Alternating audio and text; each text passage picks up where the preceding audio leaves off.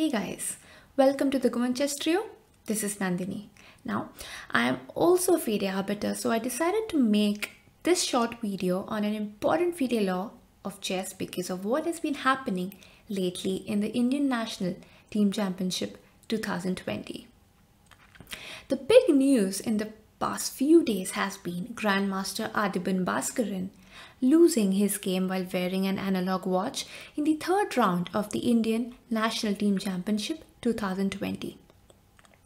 Woman Grandmaster Swati Ghate became the second victim of the strict anti-watch rule at the Indian Team Championship. Like Grandmaster Adhiban Baskaran, she forfeited her game for wearing an analog watch despite attempts by her opponent international master Tanya Sachdev to continue the game. Now Tanya Sachdev did not really want to claim the win but one of the arbiters noticed it and a rule is a rule so Swati Ghate had to give up her point. Now let's actually go and check out what does a FIDE law exactly state. So the FIDE law states that during a game, a player is forbidden to have any electronic device not specifically approved by the arbiter in the playing venue. However, the regulations of an event may allow such devices to be stored in a player's bag, provided the device is completely switched off. This bag must be placed as agreed with the arbiter.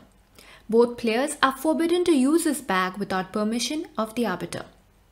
If it is evident that a player has such a device on their person in the playing venue, the player shall lose the game. The opponent shall win. The regulations of an event may specify a different, less severe penalty. So in simple words, you aren't really allowed to have any sort of electronic device with you in the tournament venue and definitely not on your body because if you do have it with you, then the arbiter could declare you lost, your opponent shall win the game. Now again, this includes you having the electronic device in your pocket too. If you have it in your pocket, it's considered on your body and you'd be given a loss. Now, there are some tournaments where they do allow you to have an electronic device with you, but again, not on your body. You could have it in a bag.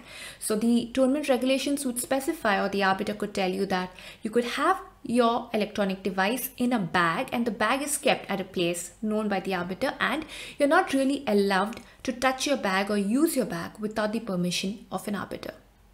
Now again, usually if you have an electronic device, you are given a loss. But again, if the tournament regulations specify that you have a less severe penalty, that's possible too. Now the question arises, why were Grandmaster Adhiban Baskaran and woman Grandmaster Swati Ghate declared lost when they weren't having any sort of electronic device on them or with them?